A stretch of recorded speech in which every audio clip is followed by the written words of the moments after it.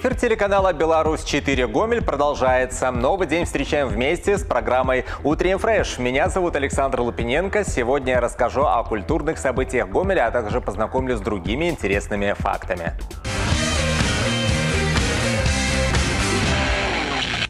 На территории Гомельской области прогнозируется небольшая облачность без осадков. Днем воздух прогреется до 7 градусов. Ветер юго-западного направления до 6 метров в секунду.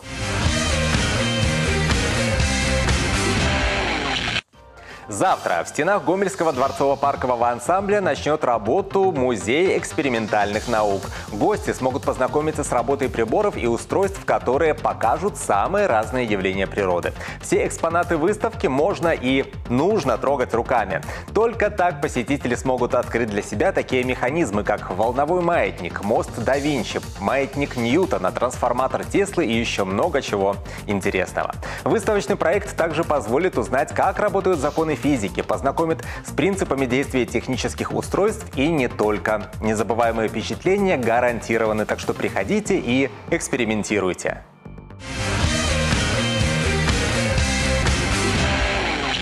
19 декабря экспозиции Гомельского дворцово-паркового ансамбля будут дополнены. Выставка под названием «Белый как снег» станет последней из юбилейного проекта коллекции музея к столетию музея. Накануне зимних праздников посетителям дворца покажут уникальные вещи из фарфора. Это и посуда, вазы, часы, и герои сказок, и самые разные образы, так что не пропустите!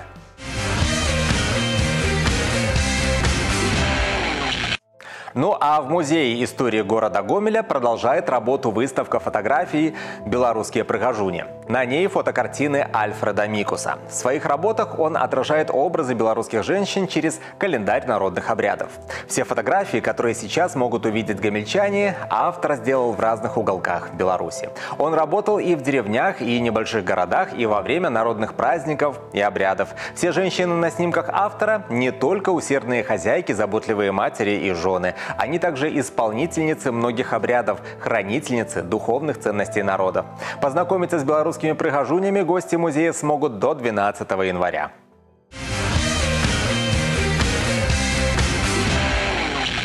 В картинной галерее Гавриила Ващенко продолжает работу выставка антикварных предметов «Рождества. Волшебное мгновение». Среди предметов из коллекции Сергея Путилина антикварная мебель, различные предметы для чаепития, патефоны и многое другое. У каждого из экспонатов была своя жизнь. Со временем они стали предметами историко-художественной ценности. Их история диктовалась модными пристрастиями, занятиями и особенностями досуга людей. Приобщиться к прекрасной эпохе можно до 12 января в выставочном зале по проспекту Ленина, 43.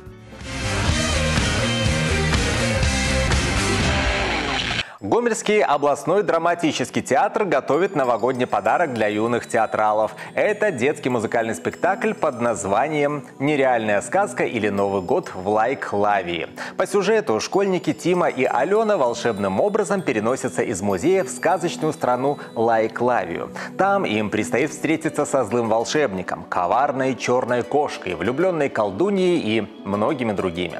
От ребят потребуется находчивость и смекалка. Им придется стать на настоящими героями и спасти заколдованную принцессу. Ну, или даже не одну.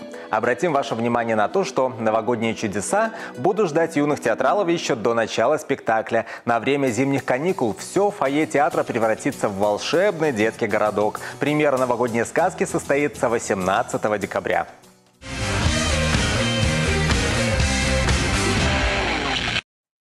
Продолжение темы. Молодежный театр в Гомеле готовит новогодний сюрприз для юных зрителей. Спектакль «Три желания». Это приключение со смыслом. Злая колдунья превращает героиню в угрюмую сову. Девушка так и осталась бы птицей, если бы ей не помог дед-лесовик. Он подсказал, как вернуть человеческий облик. И как же, спросите вы? Приходите на представление и все узнаете сами. Организаторы обещают много шуток, танцев, отличного настроения и даже шанс побывать на Кудыкиной горе Премьерный показ состоится совсем скоро, 20 декабря.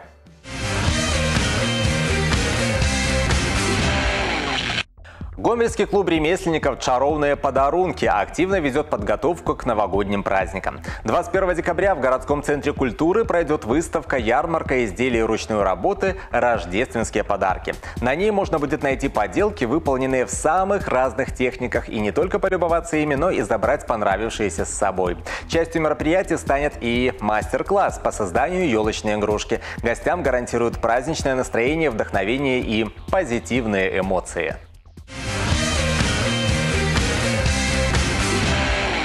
Новогодняя служба Деда Мороза и Снегурочки активно готовится к любимому празднику. Зимний волшебник, который живет в национальном парке Припятский, наградит победителя конкурса на лучшее письмо себе.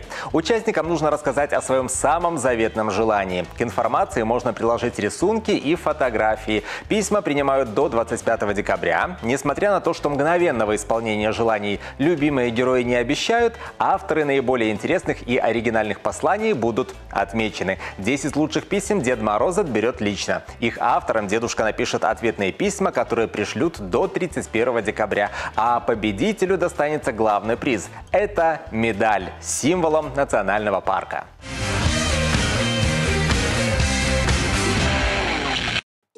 Следующим новостям. 17 декабря белорусское кино отмечает день рождения. В этот день, 95 лет назад, было создано Государственное управление по делам кинематографии и фотографии Белгоскино. В честь памятной даты в 15.00 в Гомельском кинотеатре имени Калинина состоится театрализованное представление. Ждет участников встречи премьера документальной игровой ленты Национальной киностудии «Беларусьфильм» «Спадшина» с участием творческой группы создателей фильма.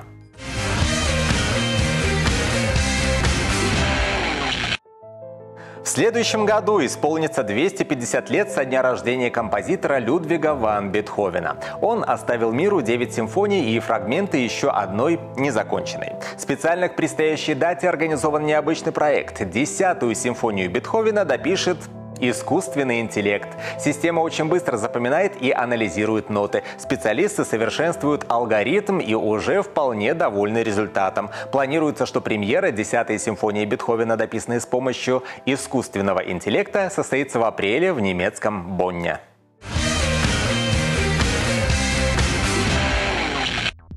К другим интересным новостям. Художник из Южной Дакоты создает уникальные скульптуры животных. Для этого он использует старое сельскохозяйственное оборудование и другие небольшие куски железа. Он превращает их в реалистичные массивные скульптуры животных. Источником вдохновения для художника становится ранчо, истории местности и животных, которые там обитают. Житель одного из городов в штате Массачусетсе во время прогулки по пляжу наткнулся на необычную бутылку. В ней находилась записка, которую в мае 1983 года написала 11-летняя девочка. В тексте она указала свой почтовый адрес и попросила нашедшего бутылку отправить ей ответное письмо. Но мужчина намерен отыскать автора письма и отдать послание при личной встрече.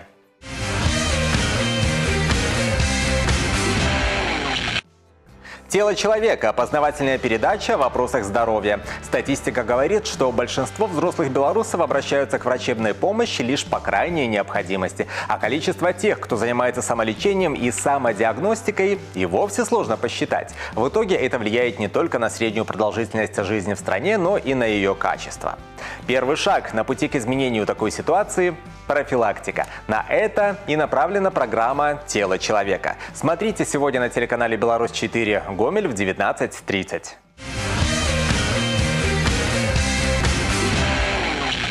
Программа «Добрый вечер, Гомель». Это разговор на актуальные темы, рассказ о ярких событиях из жизни нашего региона, интересные гости в студии и известные ведущие телерадиокомпании «Гомель». Сегодня вечером смотрите новый выпуск, а также подписывайтесь на наш Инстаграм и присоединяйтесь к нашей группе ВКонтакте. Включайте телеканал «Беларусь-4» в 2025. Это прекрасная возможность провести вечер всей семьей у телеэкрана. Звоните к нам в студию, делитесь вашими историями и принимайте участие в наших наших розыгрышах.